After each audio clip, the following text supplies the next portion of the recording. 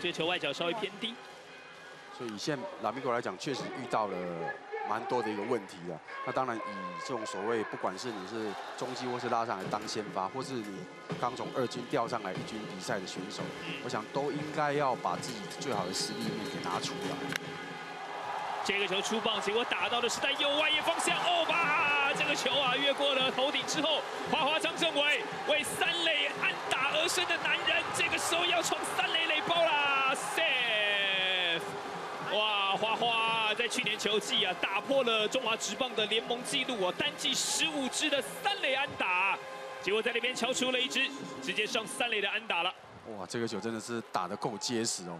不过，其实从手背的一个判断来看的话，像像右外野手，他一开始是有点稍微趋前哦，最后还要再往后赶的时候，就追不到这个打得非常深远的一个平飞球。因为今天其实以右外野的风势来看的话，他对夺打的是有一点点顺风的。嗯。再像这个球打得这么扎实哦，其实他飞行的速度确实蛮快的。